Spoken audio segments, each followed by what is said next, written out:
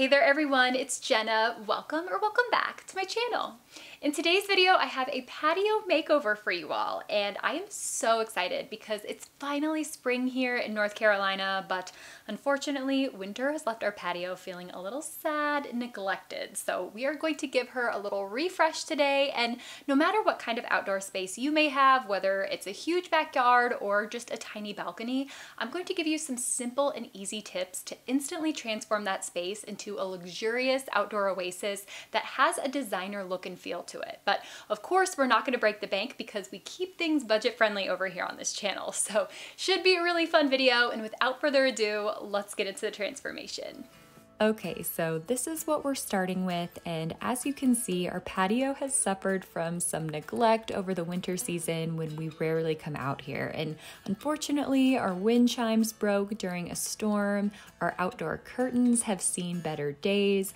I had these for over two years and they held up great for the first year and a half, but then they started fraying and ripping and just collecting a bunch of mildew. Our plant situation is not good either. My blue copper Distylium died from my own neglect, sadly, and I chose this plant because it was evergreen, so it would look colorful and fresh even in the winter, but it was probably time to repot it, and I failed to make sure it got enough water, so we're going to have to replace it. It did last me for two years, however, so that was pretty good, but the first thing that we are going to do to freshen up the space that's absolutely free and also necessary is just give it a good clean.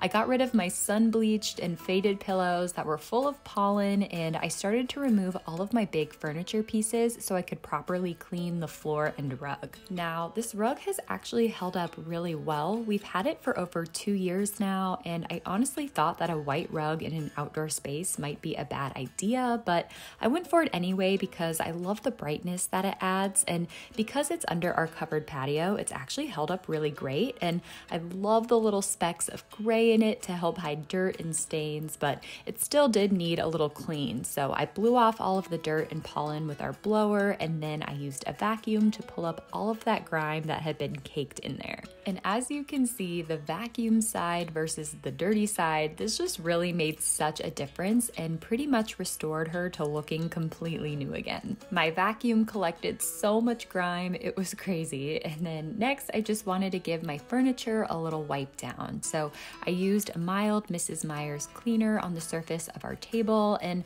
I might have to refinish it sometime this year, but I think it still has a little life left for now. And I also wiped down all of the furniture with a wet cloth. Even though they looked and felt clean, it was crazy how much dirt and pollen this actually picked up. And I also get a lot of questions on my patio set, and I actually found this at Home Goods a while back for a really great price, but I will link some of my favorite and similar patio sets below in the description box as well as anything from this video that can be linked. So once everything was all clean and refreshed, it was time to replace the broken wind chimes because a cheap way to make any outdoor space feel more magical is to add the element of sound.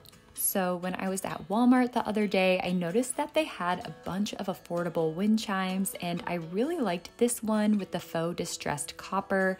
They actually had a bunch of great options for affordable prices, but I really liked this one. I felt like it had that handmade vintage look to it, and I didn't love the blue because I like to keep my elements very neutral and earthy to give off that organic, relaxed feel. So I simply just removed the blue cross and then I added an S hook that I got off of Amazon. I also didn't love the blue weight at the bottom, so I just reused the weight off of the broken one that I had, but you could use lots of things here, like a shell, a large bead, or maybe a piece of sea glass with copper wire around it. Lots of options. So next it was time to remove the mildewy curtains, and I had been looking forward to this for a long time, but I did save our leather ties, and these were just made out of some leather cord that I bought at the craft store, and they actually held up really well and I love the rustic look that they give off, so I decided to reuse them. Someone, however, did not want the curtains to be thrown away and thought they made for an excellent outdoor bed.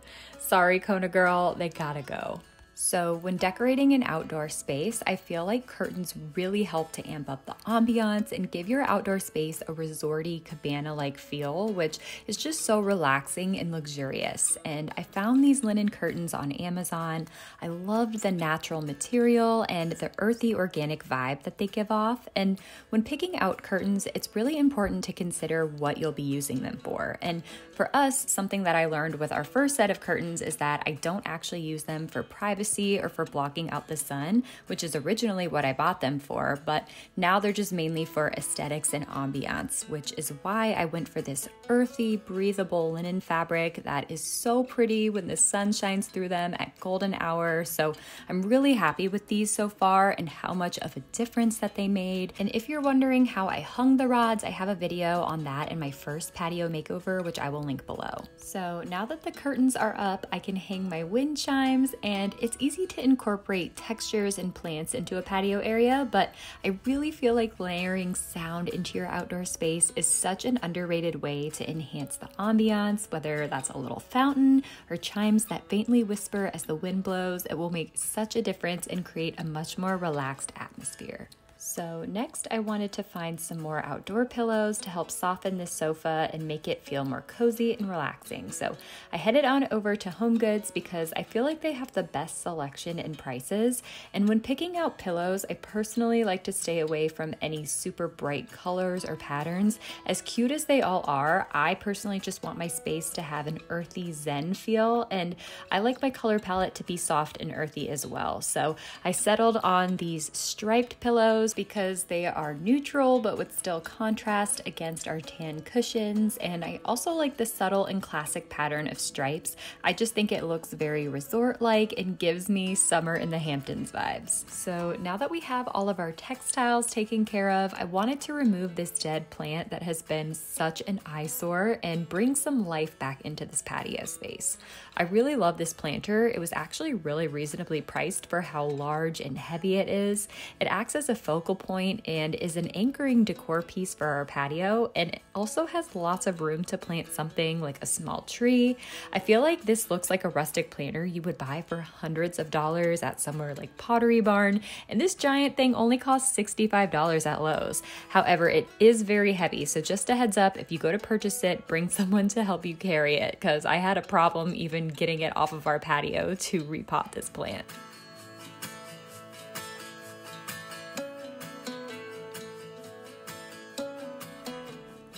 So because this plant died from neglect and not disease, I wanted to reuse the soil to save money since there was a lot of it in this gigantic planter. So I just kind of raked through the roots with my fingers, breaking up all of the loose soil in there and said goodbye to our poor plant.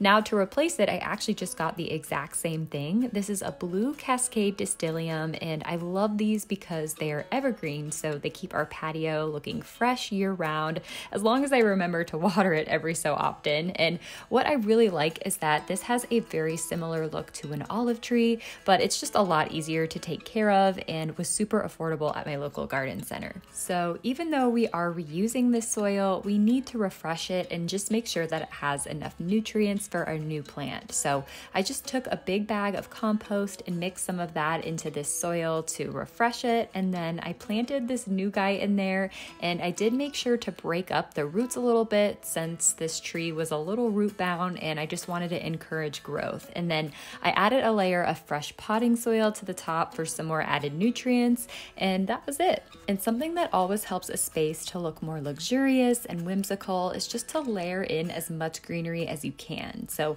I wanted to use some smaller planters around the base of this bigger one to accent it. So I grabbed these two planters that I did a faux aging technique to in my previous video and then I headed off to one of my favorite local gardens garden centers to pick out some plants.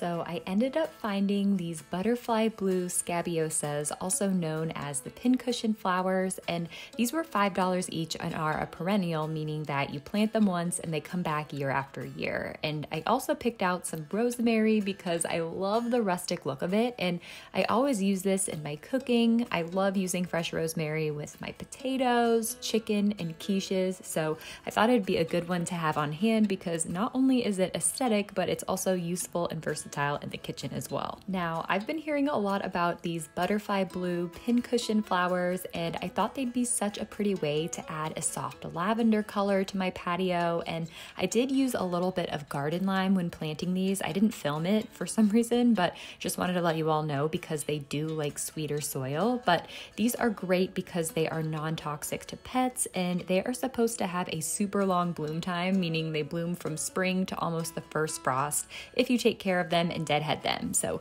I'm really excited about these. And I just love how these look layered against the large concrete planter. Just by adding these two extra pots, it really gives off more of a cottagey, secret garden-like feel to this space and also adds some visual interest with the layers and varying heights of the planters.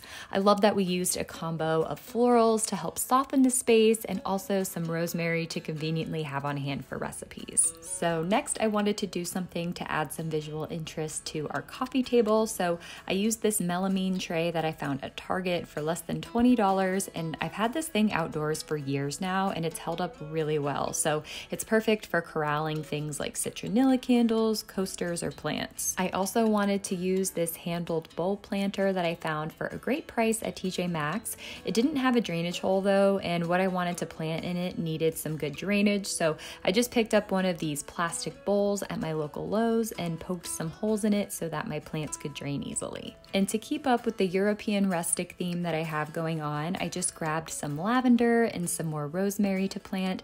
And the reason why I picked these two herbs is that number one, they do well when planted next to each other, and also they're just both super fragrant because my goal for the centerpiece on this coffee table was to incorporate the sense of smell. So whenever a gentle breeze blows in, I get the aroma of these lovely herbs, and it just really helps to add to the ambiance when the wind chimes are singing and I get delicious whiffs of my sweet smelling plants. Now, another place that I wanted to dress up a little bit was this empty corner. And if you remember from my spring decorate with me last year, I actually purchased a fountain to have that peaceful sound of water running over the river rocks. But what I found was that it attracted lots of mosquitoes and frogs. And the frogs were always hiding in our patio cushions, which just kind of got annoying after a while. So sadly, I had to do away with the fountain. But as you can see, this is a very small space. So I had to carefully think about what I wanted to put here without overcrowding it. So when I was at IKEA a little while back, I spotted these black indoor outdoor plant stands that were the perfect compact size.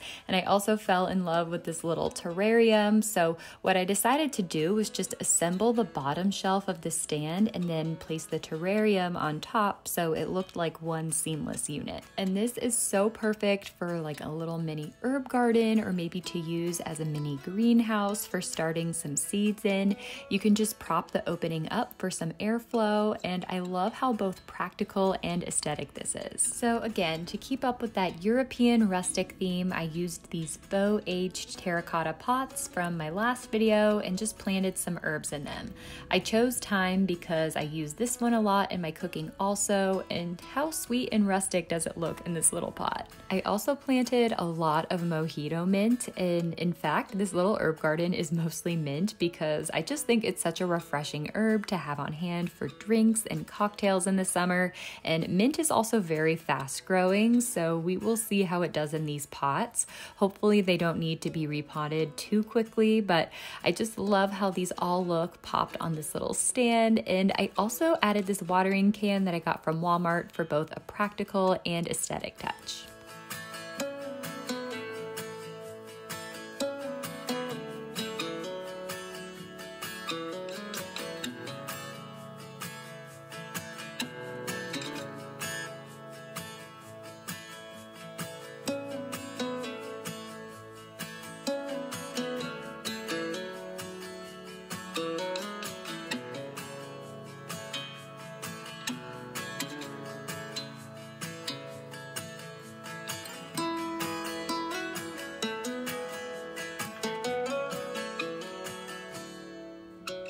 And that is it. That is how we took this patio that had been neglected and sad looking and gave it new life. And now it's ready to be enjoyed for the seasons to come. We did this by making sure the space was layered with greenery of all types greenery just for visual interest and aesthetics, greenery for scent, and also for using in the kitchen.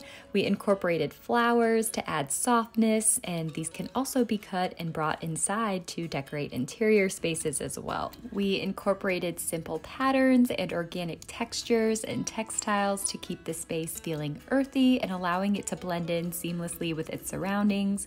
We also utilized empty corners and filled them with aesthetically displayed plants, giving the space life and function.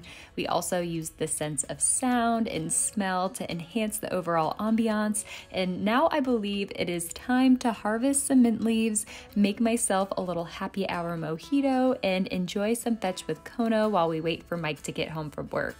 I am so happy with how this little spring refresh came out, and I can't wait to spend more time in my mini outdoor oasis in the seasons to come.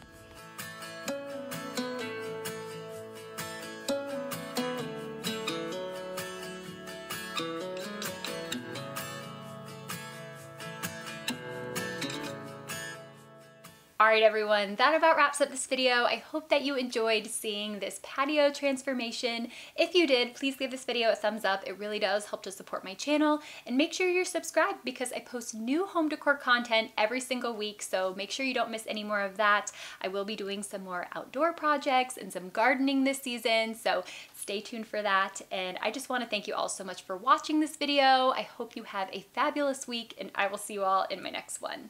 Bye!